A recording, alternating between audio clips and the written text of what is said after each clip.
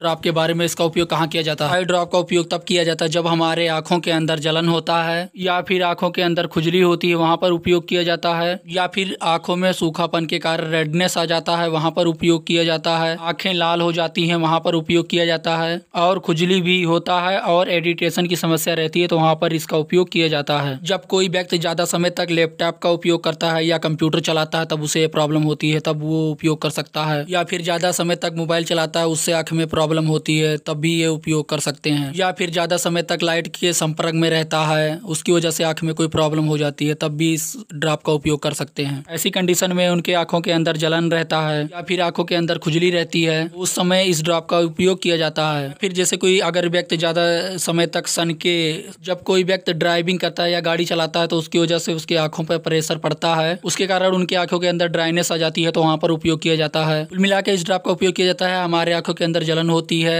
आँखें लाल हो जाती है तो वहाँ पर उपयोग किया जाता है।